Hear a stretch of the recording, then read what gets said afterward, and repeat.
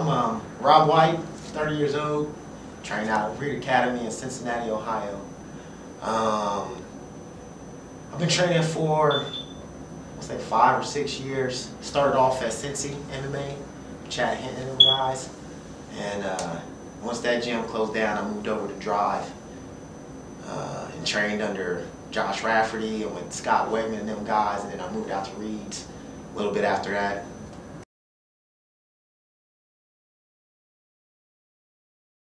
Going. Going great. Um, you know, it's always good when a lot of people have fights or people, not necessarily even on this card, but fights even around. You know, like people are in different spots. Like uh, um, Matt Rahman just had a fight.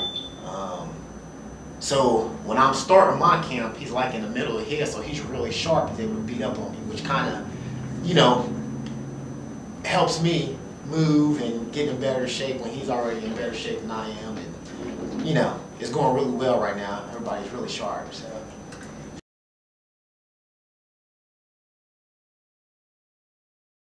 Um, I would say Portland, uh, uh, competition-wise, he's probably one of the scariest guys I fought uh, to date. Um, and when he was presented to me, the first thing I thought was like, man, I can't fight him. You know, he was a weight class up, he, you know, bigger, supposed to be stronger, but when I do choose opponents, that's that's the opponents I want to fight. The the, first, the person that scares me the most is the one I want to step into the cage with because that's the person that if I beat is going to get me to where I want to go. So I knew um, once that was presented to me on late notice, it was a huge opportunity. So I didn't want to turn it down. And then when we got in there, uh, you know, like from the outside of the cage, everybody doesn't really see what's going on in the inside of the cage. You know, we moved around for a little bit, even though the fight was over uh, relatively fast. But he threw a couple combinations and threw some jabs, and I was able to catch his punches, and I knew that I had a speed advantage on him.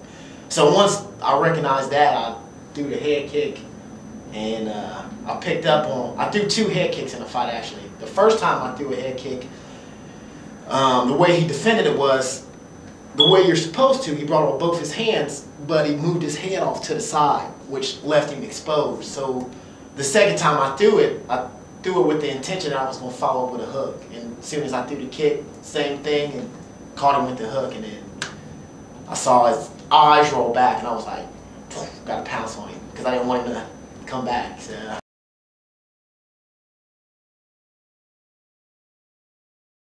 Um, I consider myself an elite fighter at this point. I work really hard. I feel like I have a, a really good skill set. Josh, you know, he was signed with M1. He's fought some really tough guys. Uh, I would say he's on a, a, kind of a downward slope right now with his record and stuff like that.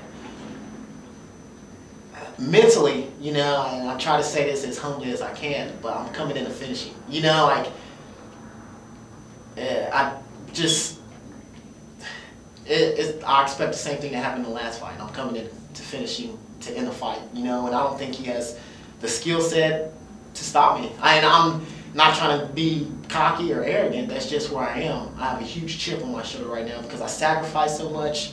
I train hard, and uh, I'm just finished playing games, you know, like.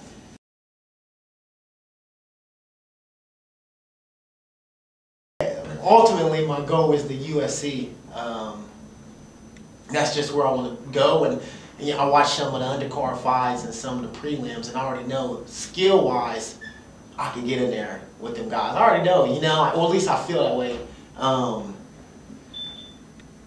I think if I get another impressive win on February 27th, I think at least some type of door should be open somewhere, you know, whether that is UFC or whether, you know, Bellator calls back or whatever. Um, it's kind of hard to deny, especially with the quality of opponents I've been fighting. It's not like I've taken any uh, easy fights or padded my record or anything like that. I've always gone for the toughest guy that'll take the fight with me. So, and I think Josh has got the experience, um, and he's been around long enough that an impressive win over him will start turning some heads, and maybe I'll get a shot at uh, the UFC or something like that.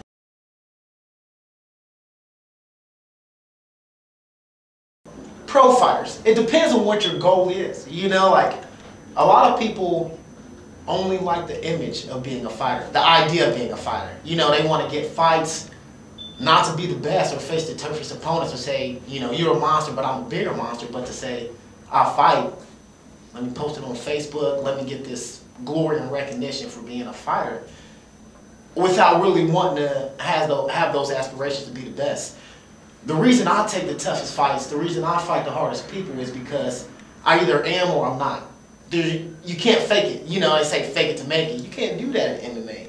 If you're beating guys who are 0 6, 0 7, you know, 1 and 5, and you're finishing them in the first round, and then you get an opportunity to fight somebody with a winner record who's a monster, and you get in there and you get exposed.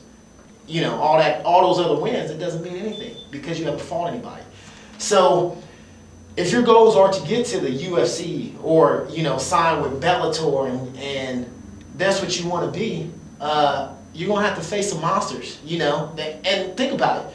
You know, this, this is a business as along with good fighters, but you know, just being a good fighter won't get you there. You know, like the UFC, they want good fighters, but they want people who are gonna sell tickets. You know, like they want people who are gonna have fans come up and watch the fight. So if you got a guy who's a monster and everybody's looking at this guy, he, man, he's up and coming, he's really good, and you step in there and you destroy him or knock him out, uh, you're turning heads now. You're like, whoa, this is who we want to come to our show. So for me, it's not a question of getting a 10 0 record or 11 0 record or anything like that. I want to fight the best guy, the scariest guy, and I want to destroy him. That's that's it. So you can't deny what I am. You know, I don't care if you don't like me in locally. I don't care if you don't like the gym I train out of. None of that stuff. You can't deny what I am. You look at my record. You look at the people I fought. And you're like, he's legit. You can't deny that. You know, and that that doesn't come from uh, being seven and zero oh and you've never ever fought somebody with a winning record. What does that prove? You know? Yeah, you give me a guy that's one and six, I'll go and finish him 30 seconds every single time. I don't want to do that. That's not what a real fighter is. Absolute Action MMA returns to the Bank of Kentucky Center on Friday, February 27th. Don't miss your chance to see the fastest growing sport in the world live. See the future superstars of mixed martial arts now as they compete on Absolute Action MMA's biggest fight card to date. Absolute Action MMA 41, live from the Bank of Kentucky Center, Friday, February 27th. Tickets are available now at Ticketmaster and the Bank of Kentucky Center box office.